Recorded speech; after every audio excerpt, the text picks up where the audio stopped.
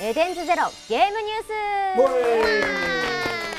今回はなんと岩田さんと藤井さんにお越しいただきました。どうもモスコ役の岩田光雄です、えー、54歳もうおっさんです。はいそして。はいシスターエブリ役の藤井幸雄です。えー三十歳です。ごめん、俺が年上。い。や、いいです。ピチピチの三十歳です。気合十分です。よろしくお願いします。お願いします。収録が別々なことが多かったので、そうなんですよね。あんまりそんなねお話とかできる機会はなかったんですけれども。そうなんですよ。特にあの四季さんとはちゃんと話すのなんな今が初めてぐらい。僕があまりにも話さすぎて。いやいやいや、実はすごい話しかけたかったんですけど、ずっとなんかこう見てるだけで。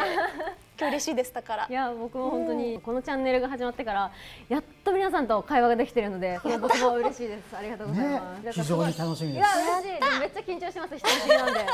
ちょっとやりすぎるとすぐこうセクハラとかパワハラになるからい。やいやいやいや非常に最近ドキドキしながら。なんかあの岩田さんと私結構収録が同じになることが多かったので、四季さんがスタジオ出られた時に、とってもスタイリッシュでかっこよかったんですよ。で二人ともなんか 岩田さんが「わあかっこいいな」って言ってて「かっこいいですね」って話した時に「あでもこういうのももう俺セクハラになっちゃうのかな」気にされてて世の中怖い。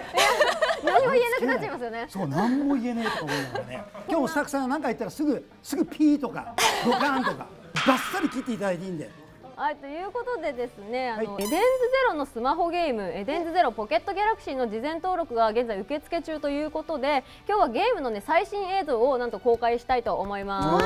まあ、今回お見せする最新映像はなんとこちら物語の舞台惑星を紹介したいと思います、うん、まずはね早速なんですけれどもグランベルシキとレベッカが初めて出会うシーンですね。こちらになります。どうぞ。レベッカ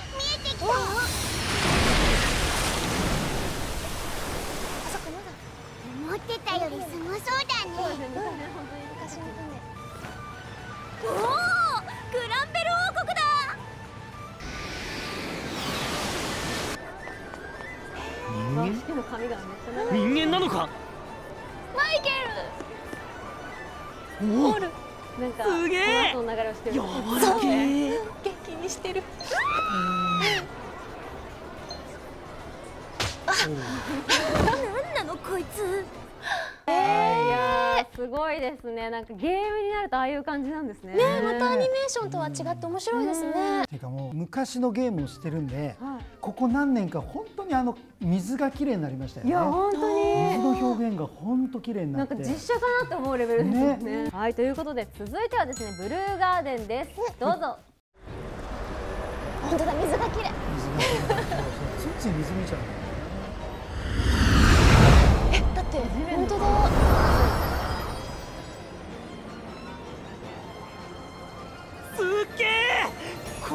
でけえ建物初めて見た。あれがブルーガーデンの冒険者ギルド流星の灯火。準備はいい？冒険の始まりよ。冒険の始まり。気持ちいい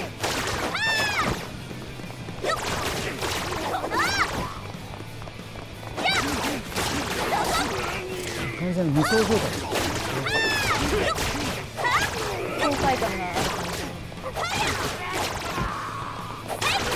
すごいですね。なんかあの、まあ、アニメでももちろんブルーガーで出てたんですけど、うん、実際にあのゲームだと自分の好きにああやって動くことができるじゃないですか、冒険するの楽しそう、ね、なんか街の中いろいろ見れるのすごい楽しみですね。続きましてギルストに行きたいと思います、はい、どうぞ。おいこの星は悪党どもの巣窟なんだ。考えなしに行動すんじゃねえぞ。空気を読んで言わずにおくがどんな強者がいるか楽しみだ。本当だ。おい。どこにいたんだろう今。この教会のようです。本当にここなのか？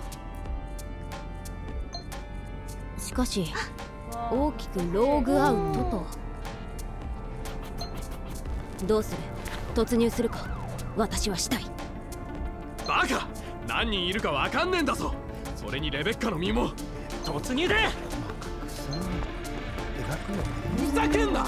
俺は外にいるからな!見入っちゃいますね、ね、なんかですね、うん。さて最後はデジタリスです。ということはねあの、まあ、アニメでも登場してましたけども謎の生き物がね登場でするのかもしれない。ブルブルブルブル言ってるやつですか？どうなってるんだろう、ね気になりますよ気になりねますね。どうぞ。うわ綺麗。綺麗。